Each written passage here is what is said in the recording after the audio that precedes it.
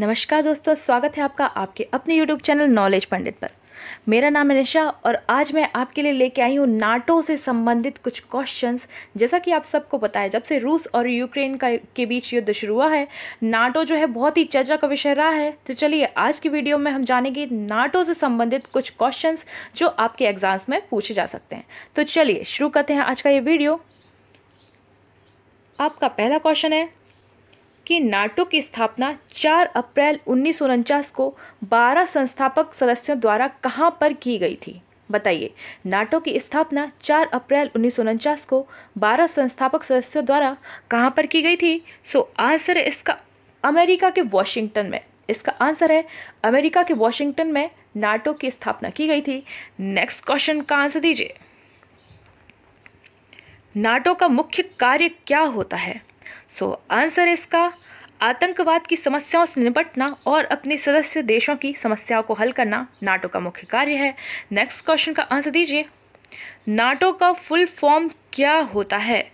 सो so, answer इसका North Atlantic Treaty organisation जिसे कहते हैं उत्तरी अटलांटिक संधि संगठन।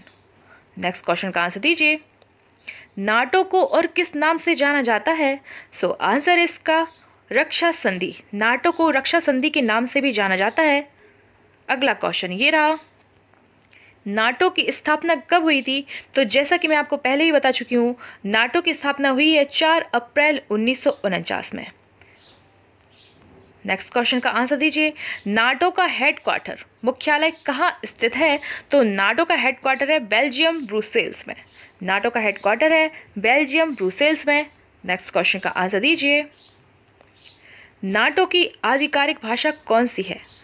नाटो की आधिकारिक भाषा है अंग्रेज़ी और फ्रेंच। अंग्रेज़ी और फ्रेंच जो है वो नाटो की आधिकारिक भाषा है। नेक्स्ट क्वेश्चन का आंसर दीजिए। नाटो के पहले महासचिव कौन थे? नाटो के पहले महासचिव कौन थे? आंसर है लॉर्ड हेस्टिंग, इनका पूरा नाम है हेस्टिंग इस्माय जो यूके के थे। वह नाटो के पहले महासचिव थे और इनका कार्यकाल शुरू हुआ था 24 मार्च उन्नीस सौ बावन से। इनका कार्यकाल कब शुरू हुआ था? तो 24 मार्च उन्नीस सौ बावन से हेस्टिंग इस्माय का कार्यकाल शुरू हुआ था। नेक्स्ट क्वेश्चन का आंसर दीजिए। वर्तमान में नाटो के महासचिव कौन है? बताइए। नाटो के वर्तमान महासचिव कौन है? आंसर इसका जेम्स स्टोलेंटेबर्ग, जो कि है नॉर्वे के पूर्व प्रधानमंत्री। ओके, चलिए नेक्स्ट क्वेश्चन का आंसर दीजिए। बताइए, नाटो गठबंधन में सबसे बड़ा सैन्य योगदान करता देश कौन सा है? आंसर है इसका अमेरिका। नेक्स्ट क्वेश्चन का आंसर दीजिए। बताइए नाटो के वर्तमान कुल सदस्य देशों की संख्या कितनी है? सो so, आंसर है इसका तीस। तीस देश जो है वो नाटो के सदस्य हैं जिनका नाम है अल्बानिया आइसलैंड इटली उत्तर मैसेडोनिया एस्तोनिया कनाडा क्रोएशिया चेक प्रतिनिधि जर्मनी डेनमार्क तुर्की नीदरलैंड नॉर्वे। पुर्तगाल, Poland, France, Bulgaria, Belgium, Montenegro, United Kingdom, यूनान, रोमानिया, लग्जमबर्ग, लातविया, लिथुआनिया, संयुक्त राज्य अमेरिका, स्पेन, स्लोवाकिया और स्लोवेनिया, हंगरी। ये हैं तीस देश जो नाटो के सदस्य हैं। इसमें से आपका क्वेश्चन ज़रूर पूछा जा सकता है कि कौन सा देश नाटो का सदस्य है या कौन सा देश नाटो का सदस्य नहीं है। तो आप एक बार इन सब के नाम अच्छे से पढ़ लीजिएगा। ओके, चलिए नेक्स्ट क्वेश्चन का आंसर दीजिए। बताइए क्या भारत देश नाटो का सदस्य है? सो so, इसका आंसर है नहीं भारत देश नाटो का सदस्य नहीं है। नेक्स्ट क्वेश्चन का आंसर दीजिए। बताइए नाटो यूरोप और किन देशों के बीच एक सैन्य गठबंधन है? आंसर है इसका उत्तर अमेरिका। नाटो जो है वो यूरोप और उत्तर अमेरिका के बीच एक सैन्य गठबंधन है। नेक्स्ट क्वेश्चन का आंसर दीजिए।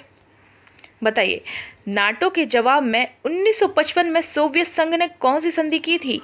सो so, आंसर है इसका वारसा की संधि। सोवियत संघ ने उन्नीस में की थी वारसा की संधि। नेक्स्ट क्वेश्चन का आंसर दीजिए। नाटो के संस्थापक सिद्धांतों में से किस अनुच्छेद में सामूहिक सुरक्षा का वर्णन है?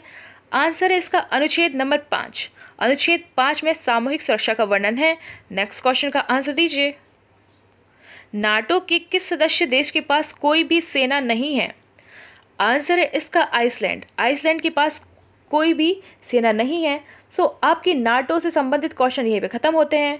कैसा लगा आपको ये वीडियो कमेंट बॉक्स में ज़रूर बताइएगा। यदि आप नए हैं तो चैनल का नाम है नॉलेज पंडित चैनल को सब्सक्राइब करके बेल आइकन ज़रूर प्रेस कर दीजिए। वीडियो अच्छा लगा है तो लाइक कीजिए शेयर कीजिए।